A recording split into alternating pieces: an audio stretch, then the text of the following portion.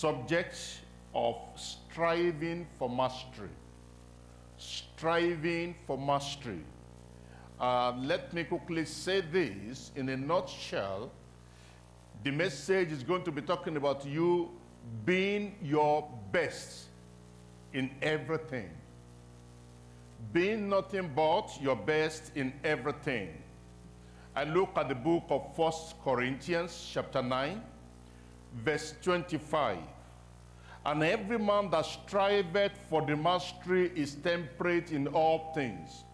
Now they do it to obtain a corruptible crown, but we an incorruptible. Here the Bible is telling us that the athletes of the world and other people that compete for one thing or the other, those into the football, those into soccer, those that are running, they are all competing for mastery. And yet, in order to be able to win, they are disciplined. They are temperate. It's not everything that everybody does that they do. It's not every food that everybody eats that they eat. It's not the way other people sleep that they sleep. Whether it is raining, cold, or sunning, they're out there practicing. And so, and every man that striveth for the mastery is temperate in all things. And understand, they are doing those things to get a temporary earthly reward, recognition, and glory, which are corruptible. But we, our labor, our service, our devotion, our commitment to the Lord is for an incorruptible glory. The Lord will help us in Jesus' name. Second Timothy chapter 2, verse 5. And if a man strive for masteries, yet is he not crowned, except he strive lawfully. Now, we see another version of this. The word of God still presented to us this issue of mastery. That in order to be able to be your best, in order to be able to win the crown, in order to be able to get the award, the trophy, you don't get it until you effectively strive lawfully. That means there are rules of the game and there are rules of this Christian journey. There are conditions, there are instructions and directions that we must follow in order to be able to strive lawfully. It's not enough to come to church. It's not enough to be called by the name of a Christian. It's not enough to come from a Christian family. It's not enough for you to be able to sing in the church. It's not enough for you to be able to have title in the church. You, if you're going to make it to heaven, if I'm going to make it to heaven, we must strive lawfully to have mastery is to have control or superiority over someone or something. It also stands, mastery stands for comprehensive knowledge or skill in a subject or accomplishment. God expects us as believers to have mastery over our Christian life and become a fruitful, uh, a fruitful bearing tree and our a fruit-bearing tree. The Lord will help us in Jesus' name. Come back again to that First Corinthians. Let's take it now from verse 24 through to 26. Know ye not that they which run in a race, now I tell you, whether soccer, whether you're into basketball, whether you are a runner, an athlete, whatever you do, know ye not that they which run in a race run all, run all. Not that they run part of it, not that they run a segment of it. No, they run all, but one receiveth the prize. So run that ye may obtain. And every man that striveth for mastery is temperate in all things. Now they do it to obtain a corruptible crown, but we an incorruptible. I therefore so run. Personalize it. I therefore so run. Can somebody say that? Not as uncertainly. Continue. So fight I. Not as one that beateth the air. So here we see the Apostle Paul comparing this glorious eternal mastery with running and with fighting. And he's making us to know that we must be certain, we must be sure, we must be definite about what we are doing, the race we are running, the journey we are into. And so you don't want to live your life like that person there, that person there, that person there. You want to be focused on heaven, and heaven will be prepared for you in Jesus' name. And you don't want to fight like the one beating the air. I have seen some people, of course, they are not practicing to fight, but just running. And then they will be boxing like this on the road, beating the air. If you really want to practice a fight, you go somewhere and then you are really punching something. Paul said, I fight, not as one that is beating the air. The word strive is a language of battle. It means to struggle, to fight, to make serious attempt, to endeavor, to contend, to contend, and make a deliberate effort with a focused determination on a goal. Focused determination.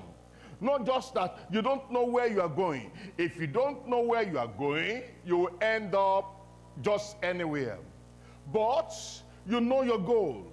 You know your target. And then you are focused on that thing. Yes, there may be some noise on this side, some noise on the other side, some things happening behind. You are focused. And then you keep on going. You keep on going. You keep on going. When you see the athletes, when they are running, they don't care about their father, their mother, brother, sister, or what's going on around them. They are focused. Um, they don't care about any other thing. They are looking at the goal. They want to win that race. Those playing soccer the same way, the same thing. The Lord will help us to be focused to the end in Jesus' name. Every believer is expected to strive to win and receive an incorruptible crown. Mastery is something that we have to do on a daily basis in order to be victorious in this Christian journey.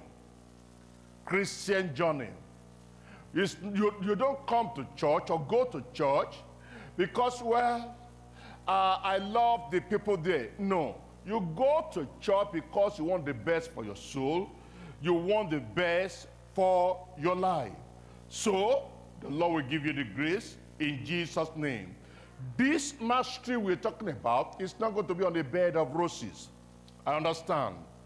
The Christianity today is not like it used to be. I understand that people want to live a carefree life this time and age.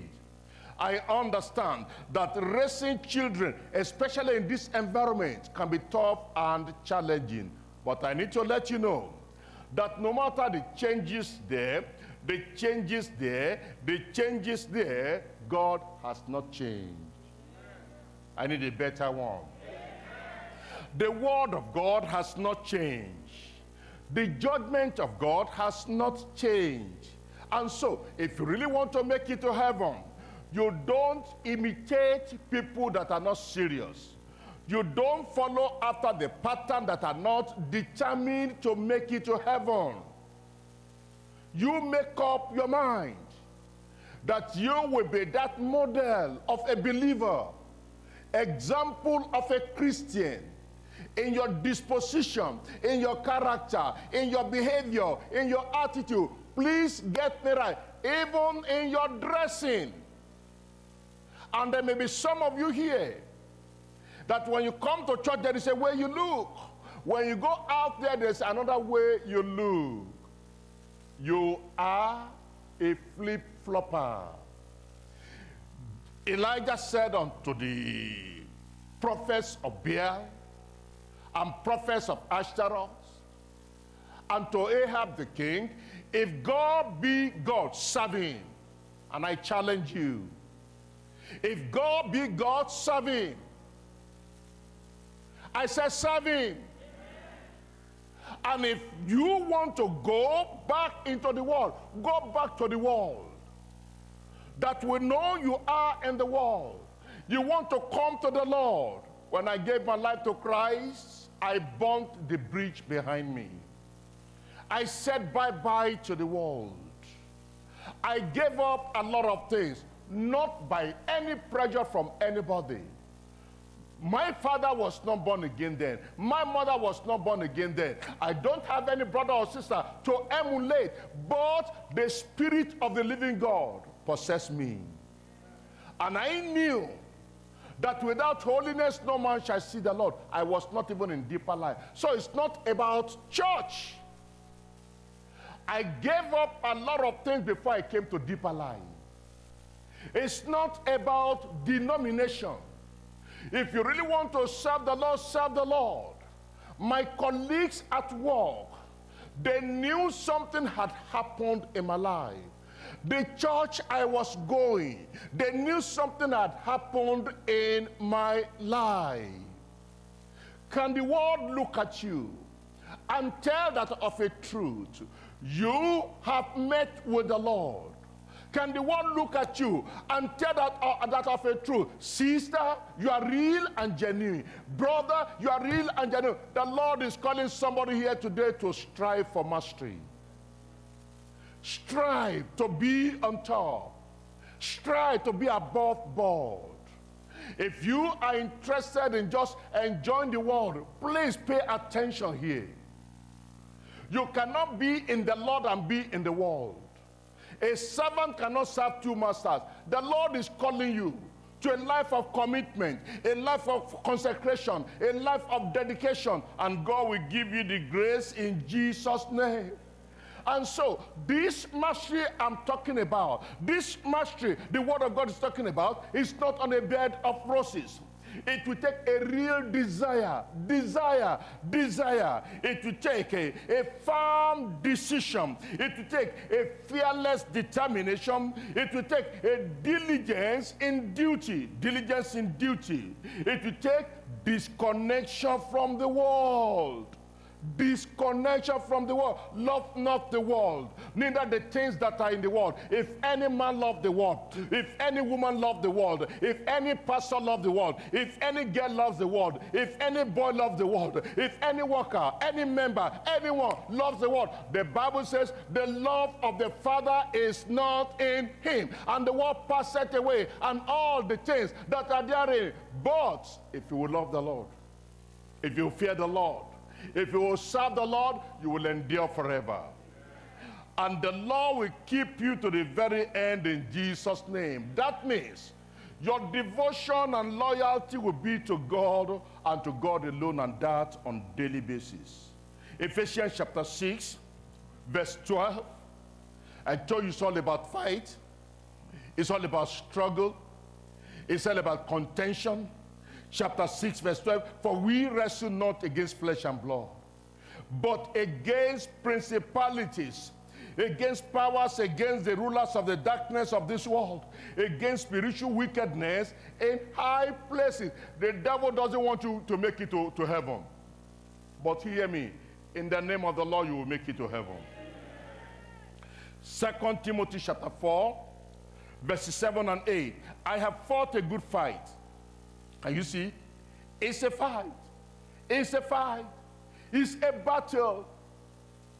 Your loved ones will do some things that if you don't have your mind made up, you will follow your friend, you'll follow your brother, you'll follow your sister, you'll follow your father, you'll follow your mother away from the Lord. And the devil will allow some things to happen that will drift you away from the faith, from the truths. I can tell you, innumerable number of people, that one reason or the other, they left the church they went elsewhere. It was a matter of time. Their commitment went down. Their loyalty to God went down. Their devotion went down. Their prayer life went down.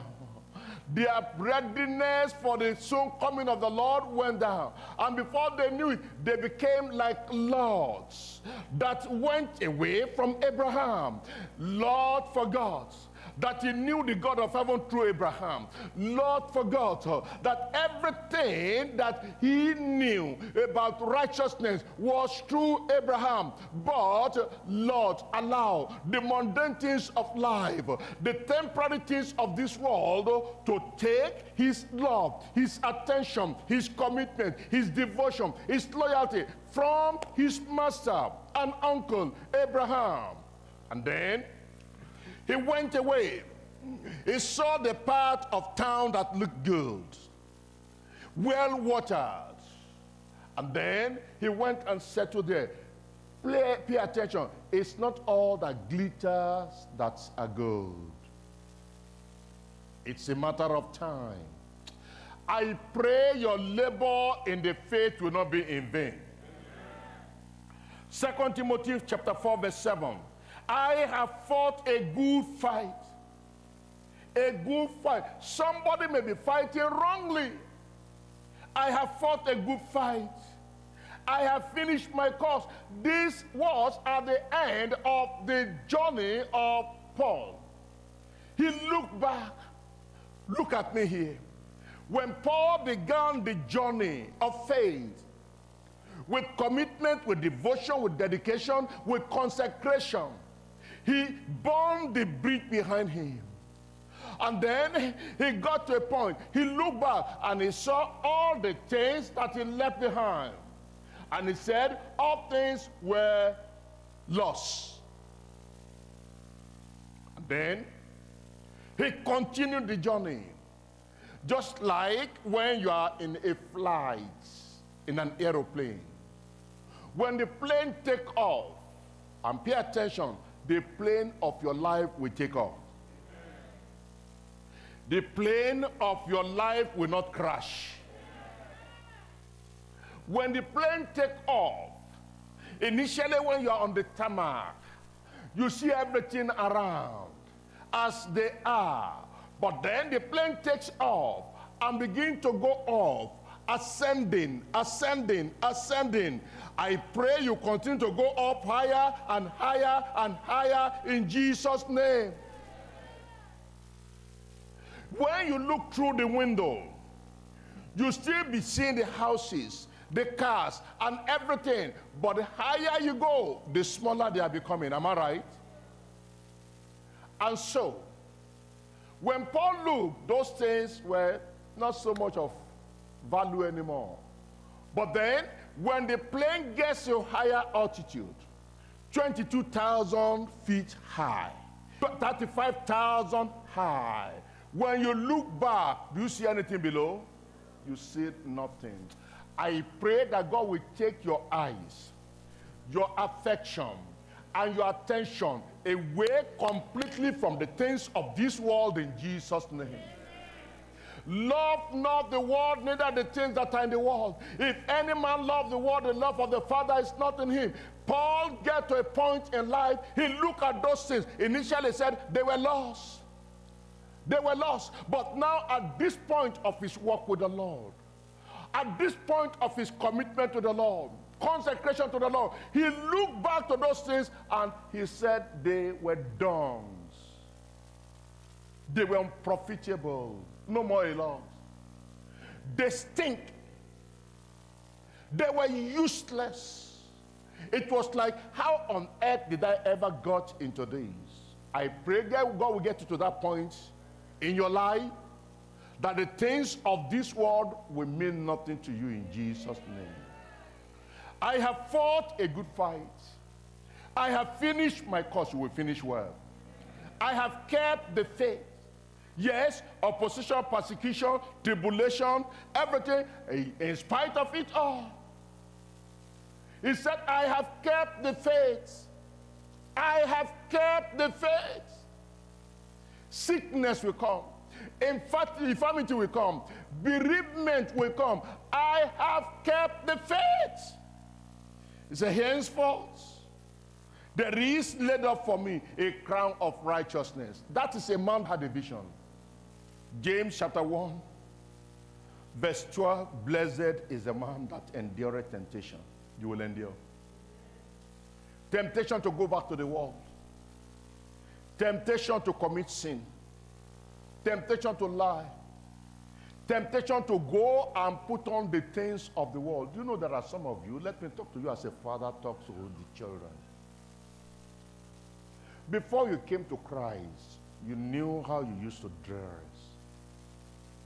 And you knew the people you were pleasing with your dressing, with all those jewelry, with all those makeup, with all those eyelids, with all those bangles, with all the necklace, with all the chest open dresses, and the back open dresses, and the mini skirts, and the shorts that you wear as a man, and the way you open your chest, and the kind of hairstyle you cut as a man, and the way you walk, I can tell you, you say, Pastor, how do you know? I've been there, I came out of it, and I'm not going back there.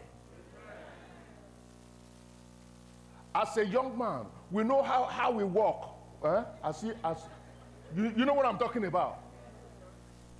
Amen. And when you see the ladies, your, your, your stepping changes. You know how you, you iron your, your pants and the gaiter? Amen. We knew why we were doing those things. We knew they were not for God's glory. We knew we were trying to get attention, draw attention to ourselves. We knew we were targeting somebody. Now that you came to Christ, that is why before I came to deeper life, after I gave my life to Christ, the Spirit of the Lord made me to know. You know, you know, you know. Therefore, if any man be in Christ is a new creature, old things are passed away.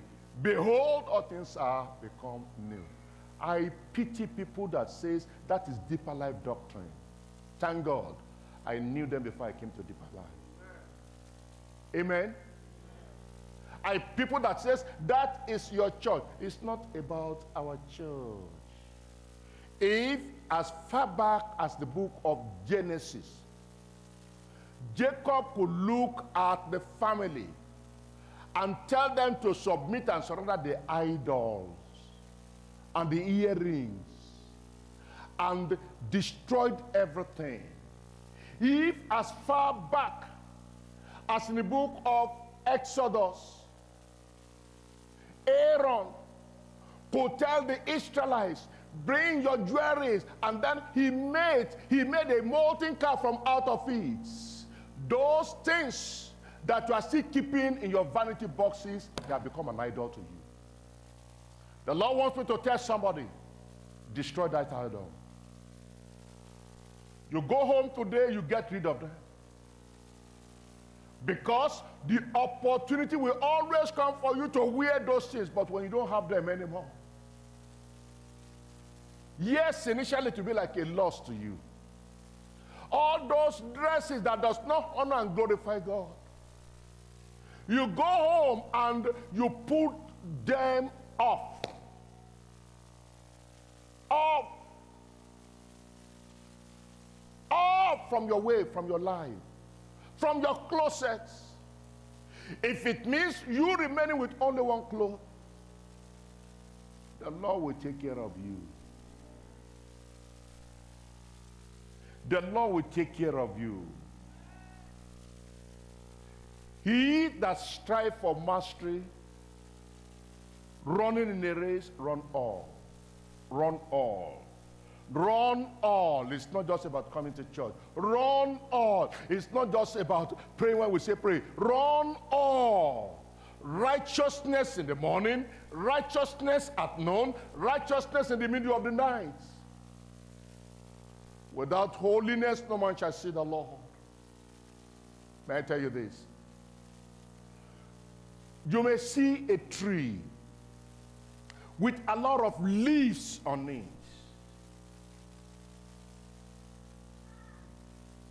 Jesus is not looking for leaves, he's looking for fruits. Bring ye forth fruit meet for repentance. God is not looking for leaves. I have this degree. I have this position. I have this title. All those are leaves. He's looking for fruit. You will bear fruit. I said you will bear fruit. And that's why when Jesus saw the multitude in Matthew chapter 5, he went up onto a mountain set himself down to teach them the way of the Lord, the way of the cross. You know, there is a song we sing. The way of the cross leads home. The way of the cross leads home. It is sweet to know as I onward go, the way of the cross leads home. Yes, it's a way of shame. It's a way of ridicule. It's a way of rejection. It's a way of abandonment. It's a way of isolation. But that is the way that leads home. Don't you know the Bible says? There are two ways. One is broad and straight. And there are many people going through it, the way of religion. But then there is another one that is narrow, narrow, narrow. Somebody say narrow. Somebody say narrow. You will walk on the narrow way. I say you will walk on the narrow way. It leads to heaven. The Bible says, very few are the people going through that way. So, I submit to you, if you want the way of the populace, the way of the majority, the religion of the masses, you will end up in hellfire. That preacher is doing this. That pastor is doing that. That evangelist is doing that. They are not the word of God. They are not the principles of God. They are not the precepts of God. Thy law have I hid, thy word have I hid in my heart, that I might not sin against you. That I might not sin, that I might not sin. Thy word have I hid in my heart. Bind the word of God on the tables of your hearts. Let it be the guide of your life in Jesus' name. I look at three points. I have been wetting the ground for you. Amen. Number one, learning from the exceptional preacher and teacher. If you want to really strive for mastery, you have to learn from the master from the Savior, Jesus Christ. Come quickly to that Matthew chapter 5, verses 1 and 2. And seeing the multitudes, he went up into a mountain. And when he was set, his disciples came unto him. And he opened his mouth and taught them. Pay attention here. You want to make it to heaven? You will not only come to church, you come to church on time. If you're a real disciple, a follower of Christ, you go to work, don't you?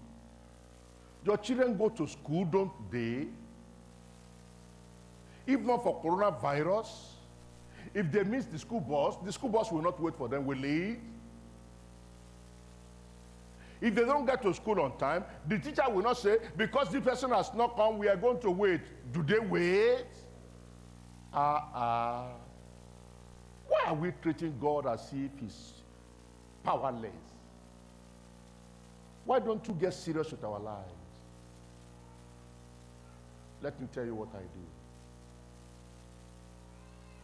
If I'm going for appointment and I'm running late, for whatever reason I don't like going late, I'm fine. But if I'm coming to church, somebody say coming to church, and for whatsoever reason I'm running late, I take getting to church more important than police stopping me on the road. Are you with me? My goal is to always get to this church 7.30. Not because if I don't come until 8.30, nobody is going to arrest me. I am the boss here. Amen? Nobody is going to say this. But I feel if I must take anything serious, I must take serious the work of God, the house of God, the people of God. And you can do it. And do I tell you this? I'm not the only one. There are people here doing exactly the same. It's like we, we, we never spoke together. But I just see if I don't get there, get here before them, they get here before me. Why not you? And some of these people, for me, I don't have any child that is that young anymore. Amen? My kids are all grown. The, the, the, the, the, the, least of them, the last of them, rather, is taller than me now. Amen? But where I'm going is this. Some of these people have little children that they have to wake up and bathe and dress up and wake up on time. And they come on time. If they can make it, why not me? Brother, sister, the Lord will wake you up. The Lord will steer you up. You can't blame it. Eh, it's because of these children. It's because of you. Even if the kids are not there, you will still come late. Lift up your right hand and say, by the grace of God, with the help of God, in the name of the Lord, I promise the Lord to take him serious and come to church on time. Amen. But beyond coming to church, let's say like Lee, beyond coming to church, you want to live the God kind of life and gladden the heart of the Lord. You learn from the master. Learning from the exceptional preacher and teacher. Jesus knew people needed to be taught, and that's why I'm doing what I'm doing today. Because I love you. Amen. You know what I want to say? I want to see people that are that, that are doing well, that I can even say, Oh Lord, uh, there is something about this brother, there is something about this sister. Give me the grace. Amen. I want to also learn from you. So when I challenge you, you challenge me. We challenge one another, and then we are all flying high. Amen. Like eagle. In the faith to God's glory. Not rising and falling. Not competing with people that are going nowhere. I will not compete with people going nowhere. You learn from the master. Look at the way Jesus lived his life all true and true. Deuteronomy chapter 31, verse 12. Gather the people together, men and women and children, and thy stranger that is within thy gate, that they may hear, and that they may learn and fear the Lord your God, and observe to do all the words of his law. Gather them together, your children, your neighbor, your parents, your relative, your colleague, gather them together to come and hear the word of the Lord. Faith comes by hearing, and hearing by the word of God. Look up here. Amen. You know, sometimes I tell you things not to boast or to brag, Because myself, I'm, I'm still praying on daily basis for God to give me the grace to run to the end. It's not how you started that matter, but how you ended. I'm only sharing the past with you to help and to encourage you. My goal is not on the back. My goal is in the front. It's ahead. I'm looking at that heaven. And I will make it to that heaven. And you will make it to that heaven. But this is where I'm going. When I gave my life to Christ, because of the way it happened, it happened in an office environment, not in any church. I was invited for a program, Break Time Fellowship. And I felt, oh, that will help me because I was already a minister, you see. Somebody who is not born again. A dead man ministering to dead people. The Lord will deliver you. And so I honored that invitation because I felt it will help me to how to preach better. I didn't know about the way of salvation. I was reading the Bible that I was not living. I wasn't living the life. But I got to that meeting and the Lord arrested me. And I gave my life to Christ. The very day I gave my life to Christ, my colleagues at work, they knew something happened. Not because I told them a word, because at that time I didn't even know what happened was called being born again. But I suddenly realized that I couldn't joke anymore. I couldn't jest anymore. I couldn't do rubbish things all of a sudden. And my friends will poke joke to me, and I was a changed person. You will be changed. Few months later, with the help of God, I'm talking about you gathering your people together in that same office where they had known me with my life and everything. Now that my life has changed, you know what I did? I started a Christian fellowship in that office. Amen. And both my colleagues and my supervisors and managers became members of that fellowship. And it was later, later, one of them that finally came to the fellowship happened to be a member of Deeper Life.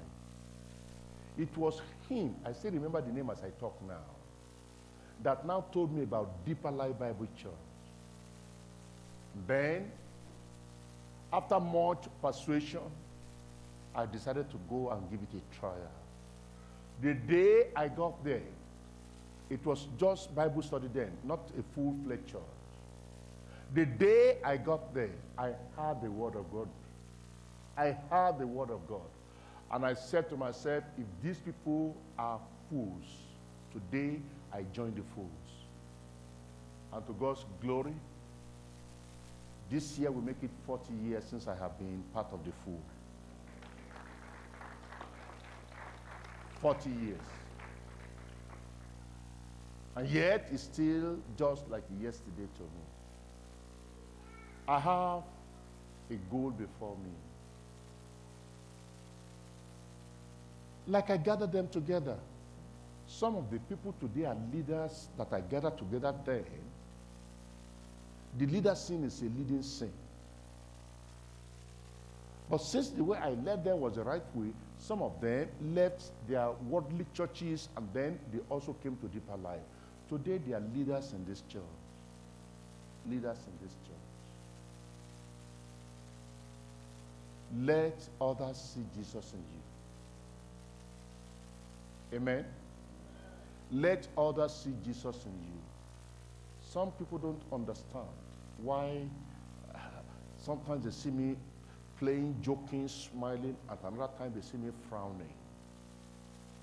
When all is well, I can even roll on the floor with you. But you want to take the glory of God and the grace of God for granted, you will see a different person in me. And it doesn't matter how close you may be to me. It doesn't matter. Jesus, that's what I'm saying, learn from Jesus. The mother and the brethren, brothers and sisters, they came to distract him while he was busy ministering to souls. And they were all at the back. And then they got the other people there. Can you help us to tell him? And they said, uh, Your mother and your brethren. He looked at them. He said, Who is my mother? And who are my brethren? I don't know them. My mother and my brethren are these people that are seated here listening to the word of God.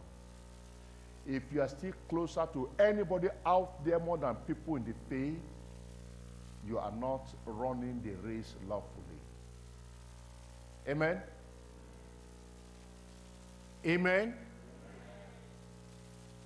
I pity some of us that don't know what this Christian race is all about. All about. This morning I was reading about Elijah meeting Elisha and throwing his mantle on Elisha and walking away, and Elisha understood. And Elisha knew the call of God has come upon my life. Let me go say bye bye to my parents. And Elisha right away. All the oxen, the sheep that he was shepherding, you know what he did? He slaughtered them all. He slaughtered everything, distributed everything out. And then he followed Elijah. He followed Elijah. Until you lay all on the altar, you will not be able to follow the Lord to the end. Lay all on the altar, my sister, my brother. Lay all on the altar. Learn from the Savior.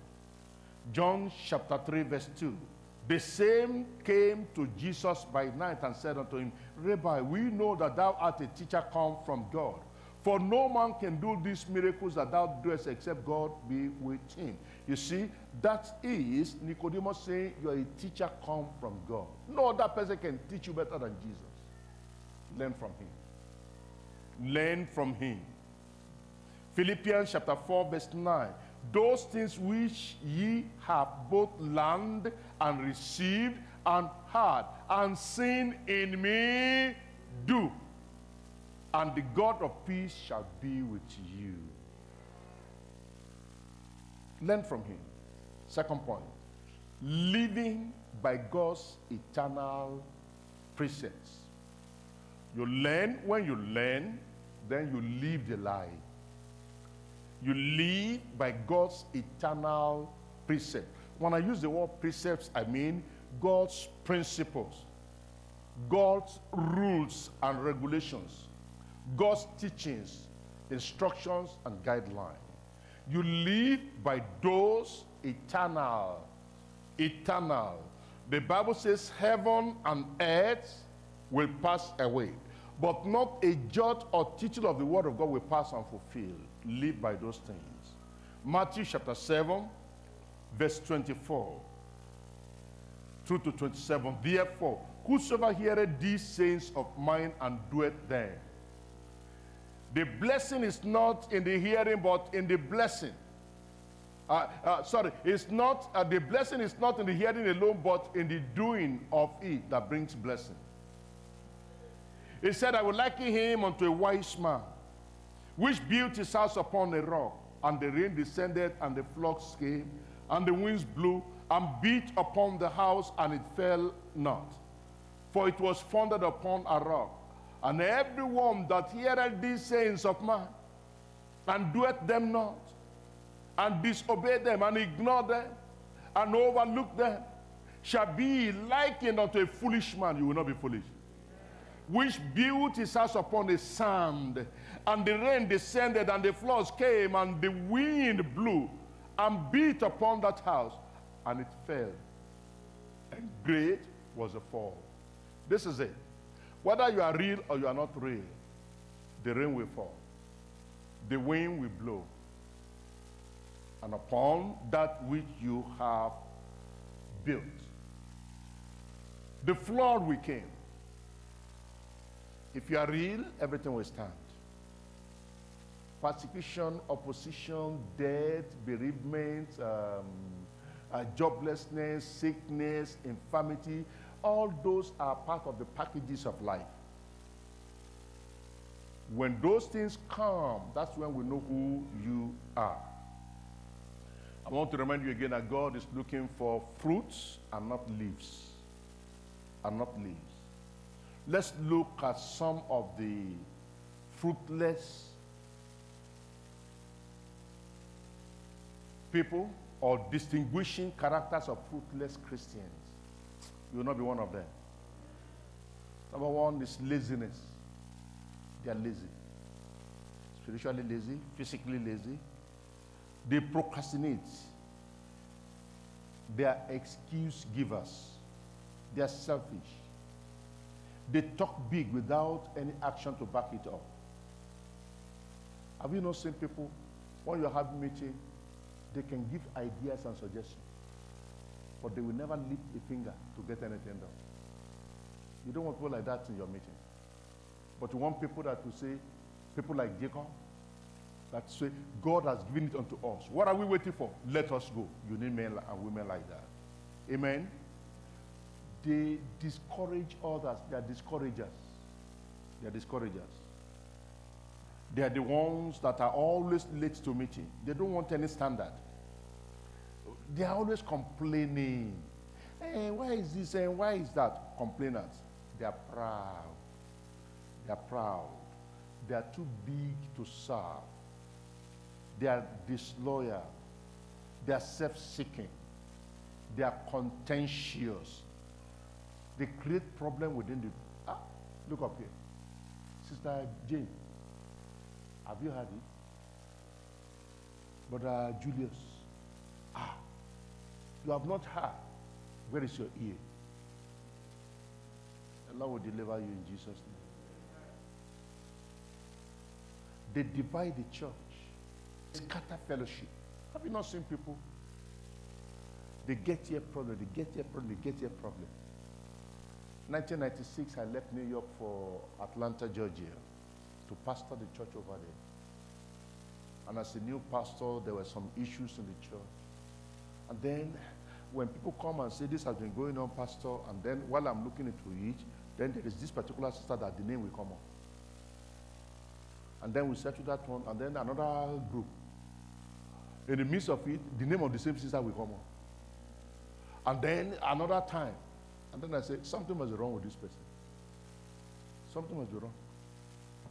Allah will deliver you in Jesus' name. Amen.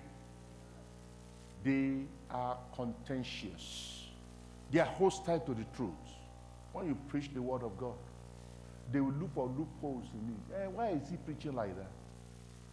Why is he preaching as if we are all sinners? If you're a sinner, tell us you're a sinner. Amen. They are compromisers. They compromise the truth. They are like jellyfish. They can't, they have no backbone to stand for anything.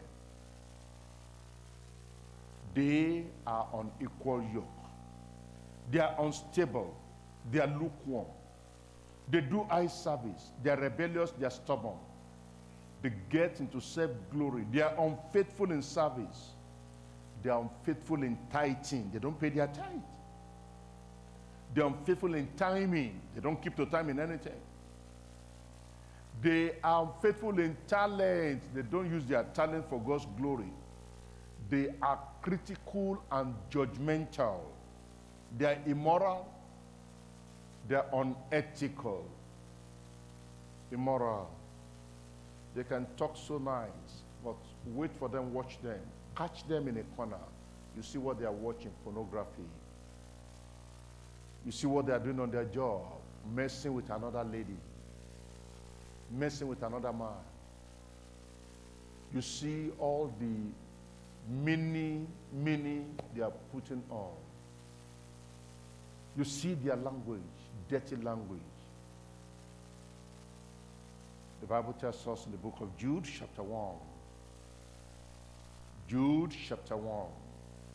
It has only one chapter. Jude is the book before Revelation.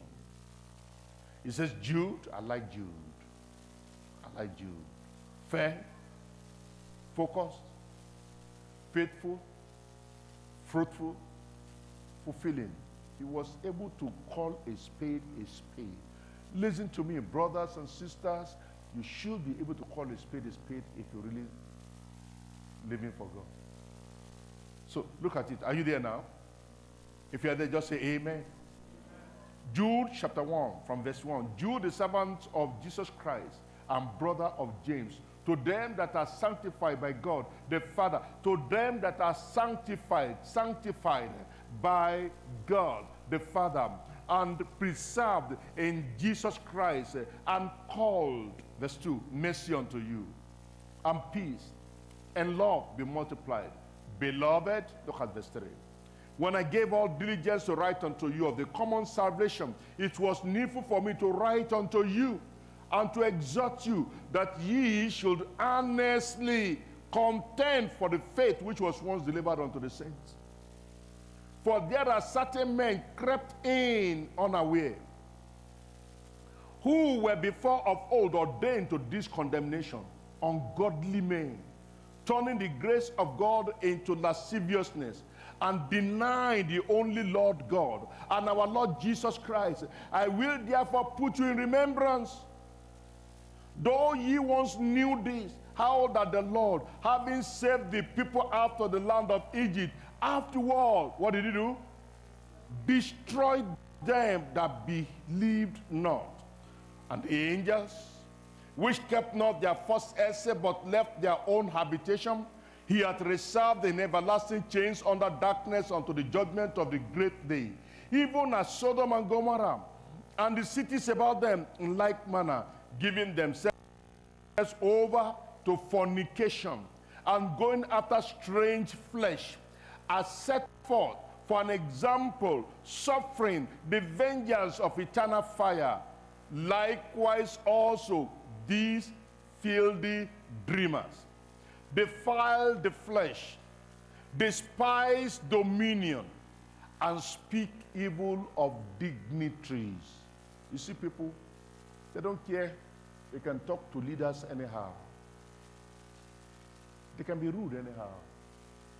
And when they see people that are respecting the leader, say, ah, why are you treating him like God? They forgot the Bible says you give honor to whom honor is due. And that leadership is not by age, it's not by title, it's not by connection, it is by grace. When you abuse the grace, you'll be disgraced. Are we together? No man can be put in place of God. And that's why the Bible is telling us here that these people are filthy dreamers. They defy the flesh. They despise dominion. They despise authority and speak evil of dignitaries. Verse 9. Yet, now it's giving us comparison. That, look up here. He says, as bad as Satan is, as terrible as the devil is, that nobody wants to have anything to do with the devil. When Michael the archangel was contending with Satan, he didn't raise up any negative thing against Satan. He wasn't abusing Satan. He rather rebuked him in the name of the Lord. Look at that verse 9. Yet Michael the archangel, when contending with the devil, he disputed about the body of Moses, does not bring against him a railing accusation. Tell somebody, watch your mouth. Be careful. Michael did not bring up a railing accusation against Satan, but said, The Lord rebuked thee. Verse 10 But these, that is, these unbelievers, these inconsistent people, carnal people, worldly people, churchious people, religious but not righteous people, verse 10. But these speak evil of those things which they know not. When the leader take a decision, make a decision, take a stand, they don't know the detail. They start running their mouths. It's like somebody, we're coming back to this. They were to wed, and then the wedding was canceled. just recently. And they went on the air. And you know, the bloggers in that country, they began to blog and everything. But eventually, generally the church will not come. But because of the way it was going, the church now spoke out. Only to realize that these people have been involved with immorality. They disciplined them. And afterwards, the church forgave them. And before the, re- before the wedding again, another thing happened. So the bloggers now began to descend on them. If you know that you don't want to live the holy life that deeper life preaches, what are you doing there? Amen? You know this church, and we know what the church stands for. We know ourselves, and we know our category. But you choose to go there. And now you are mad at the discipline because of committing sin. The Lord will help us in Jesus' name. Come back to that, verse 10 again. But these speak evil of those things which they know not. But what they know naturally as brute beasts, in those things they corrupt themselves. Woe unto them. It will not be woe unto you. Woe unto them, for they have gone in the way of Cain and ran greedily after the error of Balaam for reward and perish in the gainsaying of Korah. These are spots in your feast of charity. When they feast with you, feeding themselves without fear. Clouds they are without water, carried about of winds. Trees whose fruit withereth, without fruit, twice dead, plucked up by the roots, raging waves of the sea, forming out their own shame, wandering stars. To whom is reserved? Tell me what is reserved for them? The blackness of darkness forever. Verse 16. These are murmurers, complainers, walking after their own lusts, and their mouth speaketh great swelling words, having men's